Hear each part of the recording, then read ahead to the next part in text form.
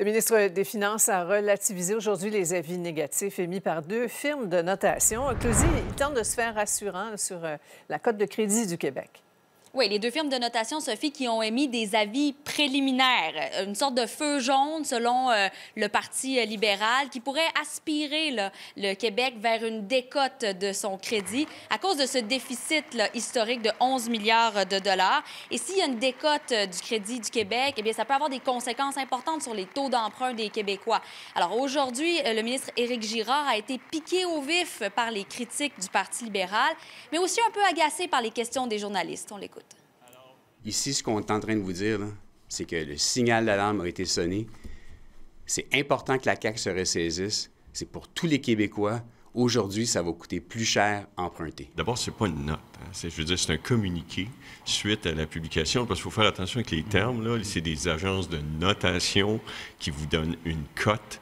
Euh, hier, il n'y a eu aucune indication que la cote changeait. Ce qu'elles disent, les agences, c'est qu'un déficit de cette ampleur n'est pas un élément positif du point de vue du crédit du Québec.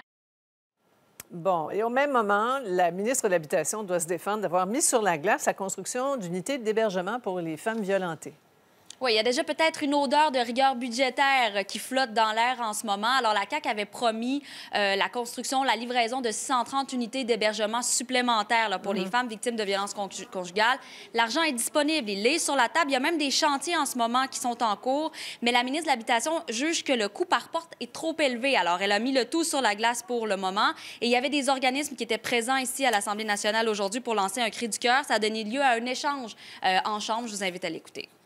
J'espère qu'on n'attend pas un autre féminicide avant d'agir. Et donc, est-ce qu'on va débloquer aujourd'hui, et ma question est à la ministre de la Condition féminine, est-ce qu'on va débloquer l'argent qui a été promis depuis 2021 à ces regroupements, à ces femmes. On parle de vie. Ça coûte combien une vie d'une femme de victime de violence conjugale? Débloquer les fonds. On va avoir des solutions très prochainement.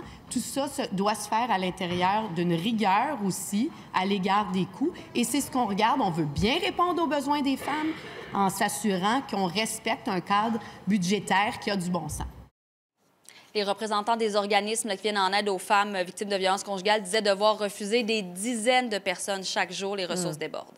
Merci beaucoup, Claudie. Je vous en prie.